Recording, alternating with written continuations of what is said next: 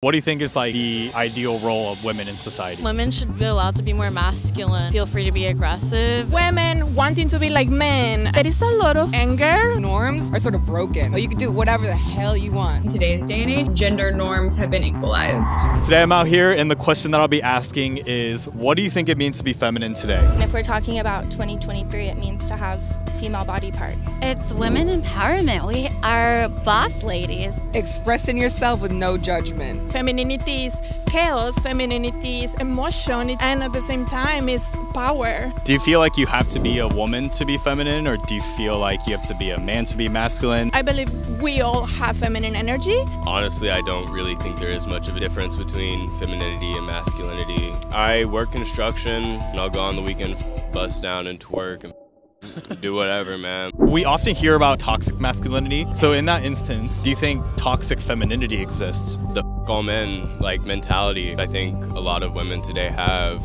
I don't think it does because with patriarchy and just general society, it's often oriented towards male imaging. What do you think is like the ideal role of women in society? Whatever you want to be. My girlfriend is a lot more feminine. My sister is a badass, wants to do construction. What do you think is like the ideal role for men in society? I think to an extent, like there should be some traditionality to it. There's so many guys that I know that have no interest in working, that love kids and just want to stay at home. what I notice, the straight men that I date, they tend to take on this super hyper masculine role that kind of a cover up for their ego. It's like today there's a lot of confusion on what femininity is and even what a woman is. And if we can't have conversations that bring understanding, it can only hurt society. But in today's lack of nuance and as a guy, am I even allowed to explore the topic of femininity without being considered sexist or being called gay? And can we find a balanced approach to gender dynamics or is it too far gone? I guess we gon' see starting with a dating expert with a unique perspective. My name is Blaine Anderson. I'm the founder and CEO of Dating by Blaine, and I teach men how to build confidence, authentically market themselves, and date women they're excited about. What do you say to people who say you don't ask fish how to catch fish? Who better to ask about what women are looking for than a woman? I think it's crazy to think that a woman wouldn't be able to speak to what women are looking for in dating. What do you think are the biggest struggles that men face in dating, and how does that differ from women? Desirable woman is going to have a lot of options, so how is any one guy going to stand out? Where for women, the challenge is different. In essence, is how is she going to tell if a guy is the right fit for her and relationship ready? There's distinct challenges between men and women. I assume that we hold different values as well. What do you think men generally generally value in women? Men value women who don't play it cool and are willing to insert themselves and put themselves out there a little bit, which actually might not fall into the historically feminine category that you would think of. I'd have to imagine like women are probably asking for help on how to date men. What do you usually tell them and what do they usually come in with? Women, I want them to realize that who they're attracted to may not be the person who is going to make a good partner. I work with a lot of really great guys who are continually hearing, oh, you're such a nice guy, but I didn't feel a spark. Women need to give a chance for that to build because it can build and the person who you have the spark with might not be a good long-term partner. Seems like both genders can benefit from taking on different roles. And so we'll come back to Blaine, but I was more so curious on the dating lives of the streets. How old are you and what has your dating experience been like recently? I'm 26 and dating apps are just like, I'm like ready for the next step, but like, oh my God, left, left, left, left. I'm 18. I'm very, very busy with school, so I don't really have time to date. A lot of times it's expected of the guy to do a lot of the work in the relationship and like ask women, like ask them out or whatever. I feel like a lot of people are struggling to have like genuine connections with people. What do you think men value in women? Big tits? No.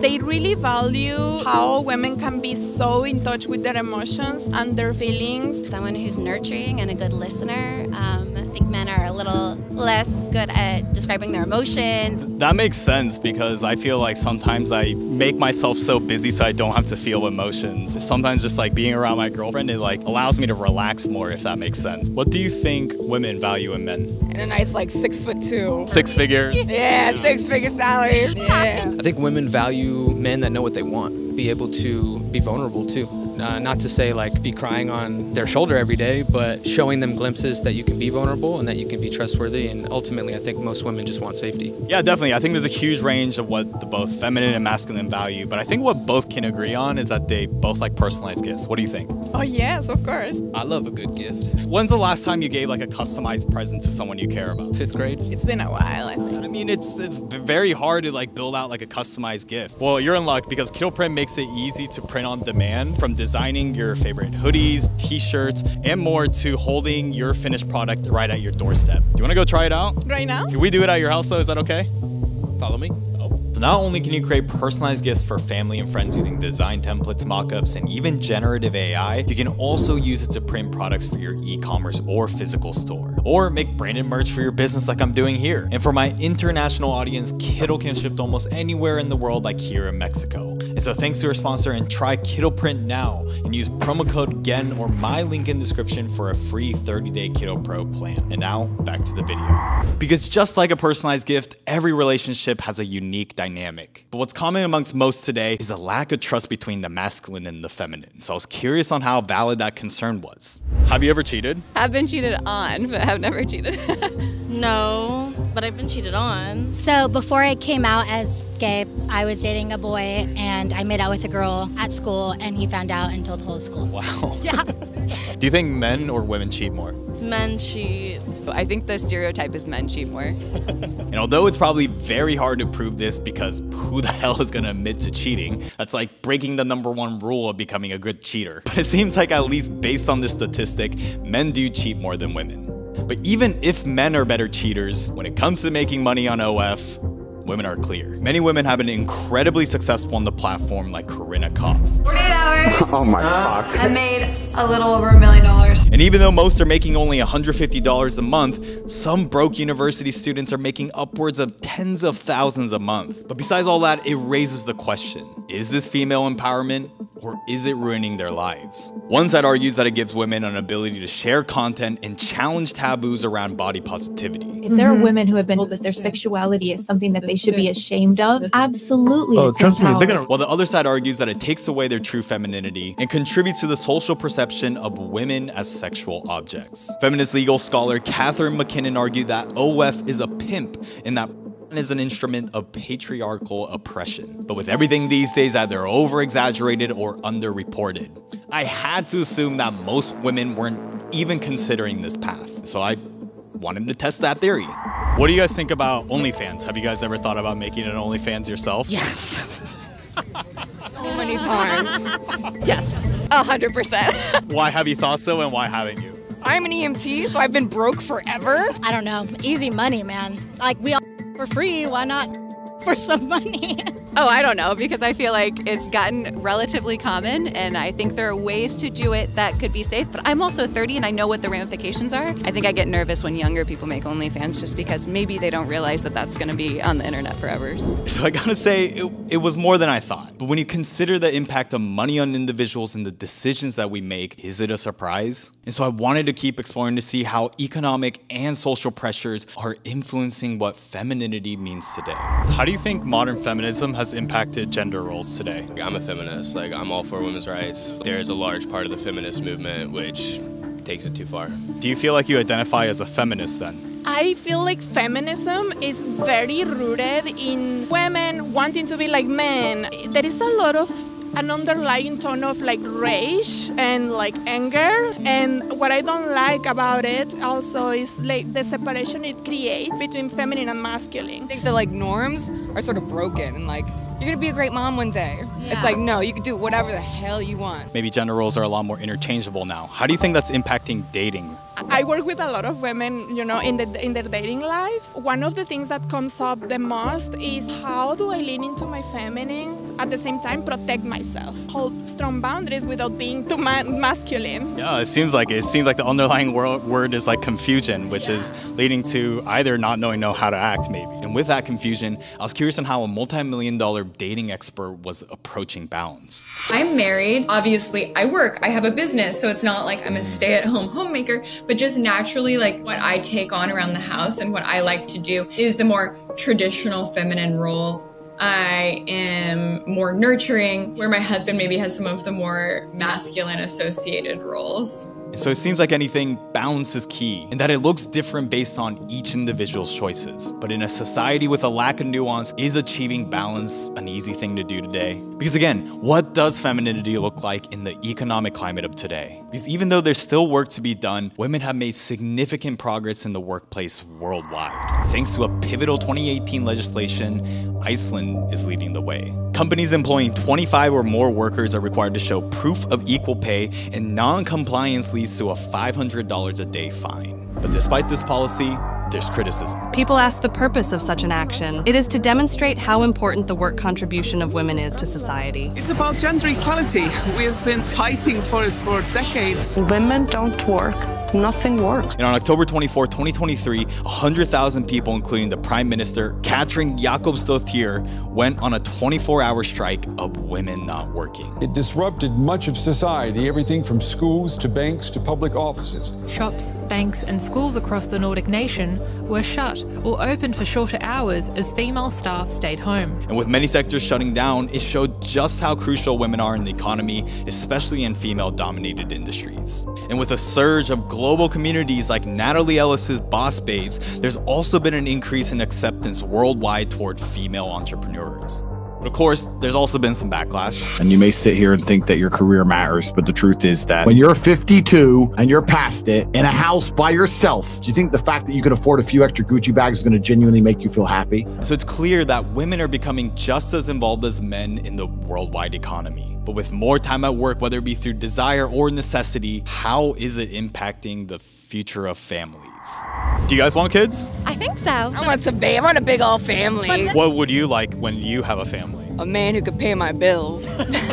Do you want kids? Yes. Do you think like people around your age share in that desire? Uh, I know a lot of my friends are delaying the choice, but they're still in wanting to have a family eventually. Half of my girlfriends back there want kids, but the other half vehemently don't want children. Now, if a woman doesn't want kids, she's not uh, wrong for making that decision. She's empowered for it. Do you think that's maybe leading down a path of maybe devaluing the family unit? I think having kids is really expensive to raise a child in modern day America. I mean, we're going to have a major issue caring for older adults when we have fewer kids being born. But if women don't want to have kids, that's their decision. Because even with more women working, it's to a point where dual incomes aren't becoming enough. And so even if the desire for family is there, in many ways, the economic climate is preventing it. But when many millennial women say they prefer a pet over a kid, is it actually more so the social pressure that's influencing the decision? Because seriously, what explains the stark differences between generations? Your guys' parents together or divorced? Mine are together. Yeah, both together. What were your guys' like parents' gender roles like? Was like the the homemaker. My dad was in the military, so he was deployed a lot of the time. It was kind of forced a little bit. So there wasn't like as much choice as there might be today. Yeah. What would you like when you have a family? A man who could pay my bills. so you want kind of the similar thing? I will stay at home. If he's out there making money, bringing home the bread, the bacon, I'll do whatever he needs. And so is change always a good thing? Because when the pursuit of equality brings about choices that lead to confusion, how can we achieve that balance? It seems like you struck that balance well just based on how you described it. You run a business. I guess in your own relationship, maybe you like to show up in a different way. It seems like you're kind of an example of that based on what you've described. I don't think there's obviously a right or a wrong way. Like there might be men who want to show up in a more feminine way at home, but still want to be the breadwinner and work really hard or vice versa. Do you think traditional values then are positive or negative to society? You know, sort of having a blueprint can be great, but if people are forced into that role, then it's obviously going to have a negative effect in their mental health. People have the best idea of who they are and who they're meant to be, and allowing them to follow that, whether it's within dating or career, is the best bet for society. Because when we promote those embracing the norms and also embracing those valuing tradition, we redefine the idea of equality as something that's only achieved by bringing others down. Because if the movement's goal all along was having more choice, why can't we appreciate both progress and also what worked in the past? Do you think true equality between men and women is even achievable or desirable? Equality within the law, I think you want that. I think it's also very healthy to recognize that there's differences. Balance starts with us agreeing to actually listen to each other and actually have conversations like we're having. And people also have to be open to changing their minds. Because while true equality may be difficult to achieve and not everyone may desire it, nothing significant ever came through indifference. And so even if you're a guy that's questioning female issues or a woman questioning ours, it's exactly why it's now more important than ever that we dare to have conversations. And that, that's exactly the mission of exploring the unfamiliar. So thanks to Kittl and subscribe not only to this channel, but to my second channel where I post highlights from my live streams. And also join the Discord where you can have a space to debate with like-minded individuals from both sides from all over the world. If YouTube gets it right, then I guarantee 100% that you'll like this video too.